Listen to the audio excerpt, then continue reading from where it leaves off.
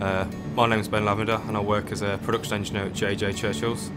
Uh, my role within the company is to create parts from a drawing and progress them through the development phases to an actual part.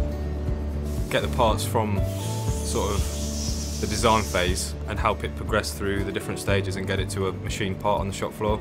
So going from um, theory to a practical piece of material we can use. What we will do is we'll get a part drawing, uh, we'll go through the process of what we need to do to make it, what processes, any fixtures, uh, programming, design, uh, the whole lot. So there's quite a lot of work goes into it pre-planning wise and then once we've done that it'll go onto the shop floor and we'll start uh, proving out our processes to make the components. Uh, I think the best thing about working here is being able to see a component come from a drawing and actually have a part you can hold in your hand at the end of the day. So you can see all the work you've put in has uh, come to the final product.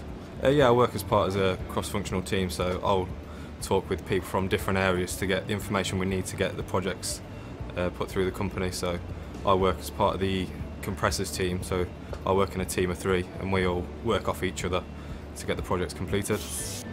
Uh, I think it's known you've had an impact in getting that part from where it was to actually a finished part, so you've had an input in some way to generate that part and it's quite a good feeling knowing that you've had a role in producing that.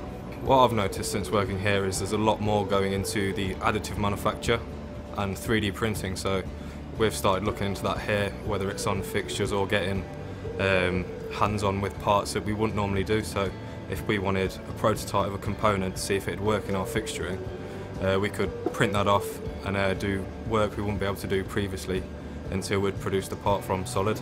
This role, like I say, is very varied. It's not likely for you to do the same things day in, day out, so you can gain a lot of experience and knowledge by being in a role like a production engineer. Because there's multiple aspects you have to cover in order to get the projects through.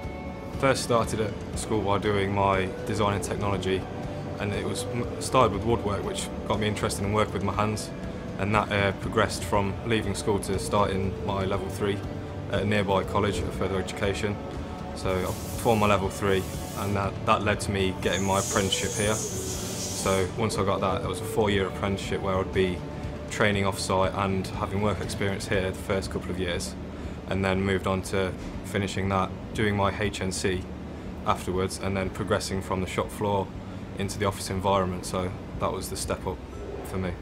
It's always a progressing subject engineering as it's never stationary.